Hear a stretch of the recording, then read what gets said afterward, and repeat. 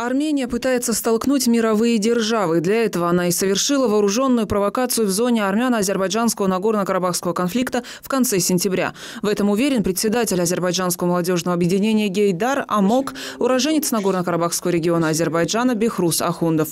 По его мнению, мировое сообщество к данной проблеме должно отнестись с наибольшей серьезностью и ответственностью.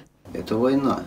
Война, где умирает очень много людей – это несправедливость, несправедливость на протяжении 30 лет по отношению Азербайджанской республики.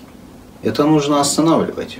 Простой армянский народ, армянские э, церкви, армянские диаспоры, политики завербовали, из них сделали террористов.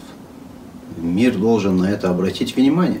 Это очень большая и серьезная проблема. Бехрус Ахундов, как и десятки тысяч азербайджанцев, проживает в Казахстане, и все они соблюдают законы этого государства, активно участвуют в общественно-политической жизни страны. Также должны жить на территории Азербайджана и представители армянского народа, в частности, карабахские армяне. Сепаратизму должен быть положен конец, подчеркивает Бехрус Ахундов. Лучше всего вам быть на правильном пути. Лучше всего вам согласиться со всеми правилами международного сообщества не нарушать, не нарушать законы.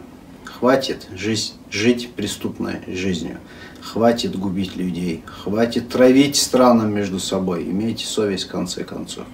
Россия, Турция, Израиль, Иран, все соседние страны, все стратегические партнеры, все народы мира для Азербайджана, для интернационального Азербайджана являются братьями.